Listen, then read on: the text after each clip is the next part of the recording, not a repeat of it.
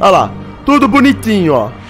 O domo, as estrelas errantes, que são os planetas aqui dentro, todos fazendo seu trajeto nos céus.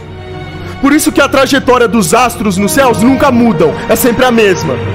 Ah, não, mas a gente tá vagando no espaço, no vácuo, um monte de estrela, nunca muda, as constelações são exatamente as mesmas. Por que será? Por que que os antigos, e Xandão já mostrou aqui pra vocês qual era o formato de terra que os antigos acreditavam?